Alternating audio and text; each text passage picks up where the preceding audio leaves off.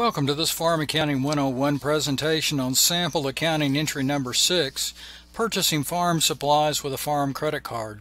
I'm Robert Page, Regional Extension Agent and member of the Farm and Agribusiness Management Team with the Alabama Cooperative Extension System at Auburn University. As we have said in earlier presentations, the Farm Accounting 101 series intended, is intended to help Alabama producers to improve their farm financial literacy.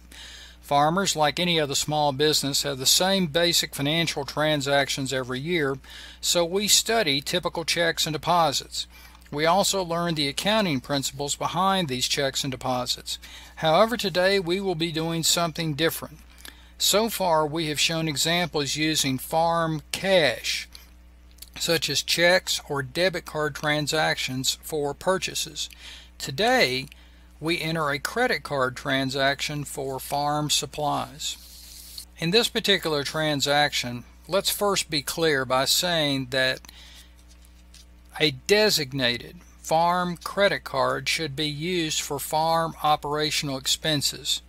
It is a better way to have personal expenses that they should be charged on a separate personal use card, not the farm charge card.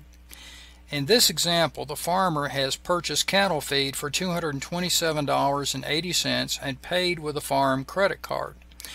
Before we show this transaction on the Excel spreadsheet, you should understand some of the limitations of the Excel spreadsheet.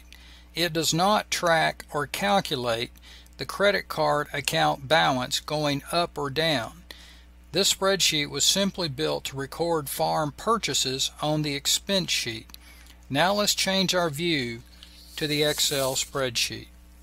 So here we are looking at our spreadsheet again, and this one is our first transaction for the month of March. In column B, we enter the fact that this transaction was a credit card transaction. We also record the fact that it was made to Valley Farm Supply and the purchase was cattle feed. The dollar amount of the purchase was $227.80.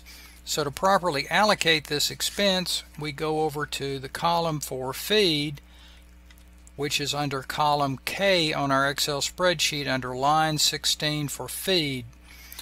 And though we have $227.80 on both column K and in column D, so we are in balance.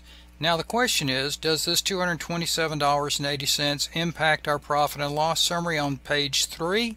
Yes, it does. So we click on the third sheet, and there is our $227.80 listed under feed in our profit and loss summary.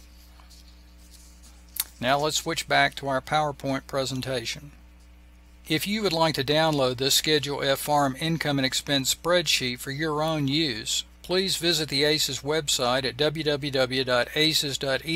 and select the topic tab entitled Farming and then Farm Management to find the article entitled Using an Excel Spreadsheet for Farm Financial Records. There is a link to this spreadsheet embedded in that article. Now let's take a look at the accounting entry for this particular transaction.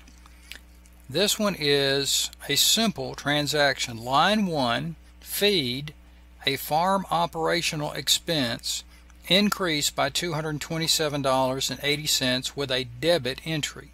Line 2 is farm credit card payable, which is a current liability and also increased for $227.80. The debits and credits are in balance for $227.80.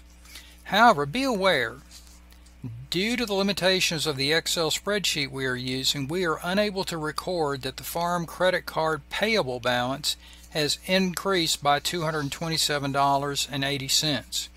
The Excel spreadsheet is not a double entry accounting system. It simply lists farm and non-farm transactions to calculate a basic profit and loss which we just reviewed on sheet 3 in our sample farm spreadsheet.